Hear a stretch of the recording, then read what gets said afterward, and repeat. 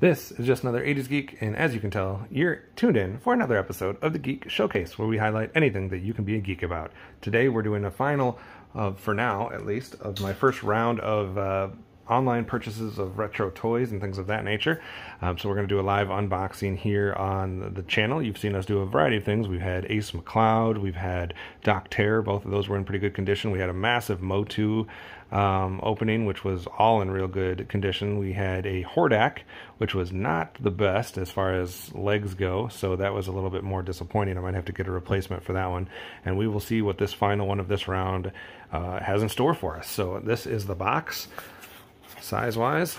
This is coming to us from um, not in America, I do not believe. I believe this one's coming from somewhere in Europe. So let's take a look and see what we have.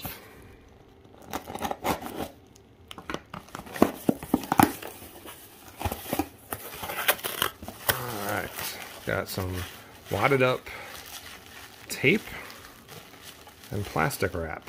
That is interesting packing materials. You never know what you're going to get. All right, let's get that out of here. Let's. Oh my. Okay. We got both. As you you guys have known, I've talked about this for a while. That I have a hero and a villain collection where we are collecting. I am collecting the main villain and the main hero from as many cartoons from my childhood as I can, like the main like action line, 80s, that type of thing. So, like I've used as an example before, Optimus Prime and Megatron, Skeletor and He-Man, Leonardo and Shredder, you know, things of that nature. Um, not always a clear cut, you know, who's the number one villain and who's the number one hero, but I try to get the main ones in my opinion. So this is going to be actually a set of both the main hero and the main villain from this series. So I got them both in one collection. So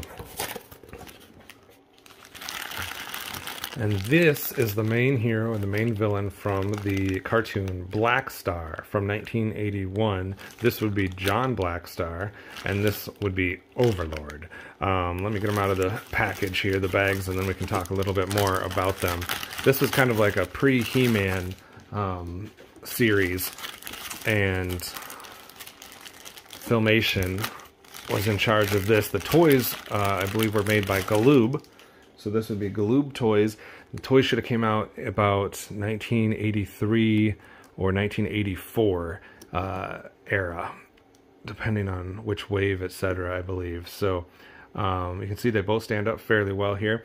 Um, Overlord was voiced by the incredible, legendary Alan Oppenheimer, who would go on, obviously, to voice Skeletor in the main He-Man series. And funny enough, John Blackstar was voiced by George DiCenzo, um, who does the voice for Hordak in She-Ra, which is interesting because that's the last one of the last ones we've opened here. So he was a bad guy in She-Ra. He is the main hero here in Blackstar. So John Blackstar, voiced by George De, um, and Overlord, voiced by Alan Oppenheimer. Um, so again, this series is kind of like a pre-He-Man. You can see they're very He-Man-like um, as far as the figure goes, we'll look at Mr. John Blackstar. No accessories here. Um, leg movement. I mean, you have just the back and forth here, no bending of the knees or anything like that. So both legs, pretty good joints here. Um, just a little bit of, you can tell a little bit of paint coming off a little bit. Um, all of his fingers seem to be intact. There was a spot for a weapon, so I'm assuming I'm missing the accessories, so that might be something I'd have to get separately. Uh, arms move like that. Pretty tight joints there, as you could hear that. And then his face should be the squishy face, like He-Man. So you can squash him. Um, and then it does move side to side. It's almost the exact face of He-Man, actually. And then you have the cool gold neck piece on the back. See, he's got some type of gadget or gadget. This is a wheel of some sort. So I'll have to do some looking. Apparently that was connected to something because that definitely spins uh, as in a wheel. And then you can see the back of his neck piece there everything else. I'm guessing with him, I don't see any trademark on him.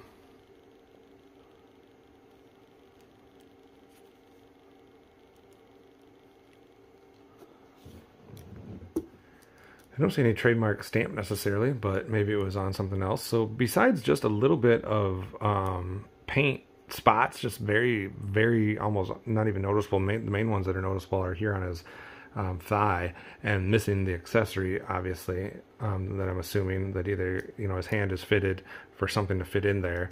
And then you have this back piece that obviously goes to something. Um, so outside of that, and I'll have to do some research on what that is. This is a great addition to my hero and villain collection. Let's take a quick look at Overlord. Classic look here, 80s villain. So you have up close and personal here, you have this chess piece, which obviously has, with the way that it was designed with some of these pieces that kind of stood out, there's going to be some obvious paint wear and tear there. You have the shoulder pieces, which are actually in pretty good shape his face, most of the ones that I saw online, the face was where you would see a lot of the paint damage. And I'm super happy that we don't have that here. Obviously, his head turns just like Blackstar's did. His arm fitted just the same way, designed just the same way as Blackstar's, holding a similar weapon. I'm guessing this one's just a closed fist, whereas Blackstar's was an open hand. So they both have the, the thumbs up on that side. This one has a closed fist. This one has an open hand when it comes to that. Um, not as much, not as much paint wear and tear there. A little looser on the legs than the Blackstar figure was, but still not bad. Not like loose loose. And then on the back side, same thing. We have this wheel contraption. I'll have to do some research. I didn't collect these as a, a, child, so I don't remember what that would be going to or what kind of how that all worked. It does have a couple holes here in his shoulder, maybe something popped in there. And then he does have the trademark spot right there, which says Filmation. Let me take a close look at this. I believe that says 1983 Filmation Association. Oh, it's back there. So stands very nice. I'd give these guys like outside of maybe missing the accessories, so maybe I'll dock a small point there. But these are like nine out of ten then, um, as far as what kind of shape they're in and what kind of condition they're in. The lack of paint wear and tear, not any loose joints. Um, so this is an incredible purchase for me. I'm very happy this will fit in perfect with my heroes and villains. Display them in pairs like you would see them right here, or if I'll have all the heroes together and all the villains together. But either way, I cannot wait to add these two to the ranks of my hero and villain. Blackstar is complete, and that makes this 80s geek a happy camper. Let's take a quick 360 look at each one of them, and then we'll be done with this episode of Geek Showcase.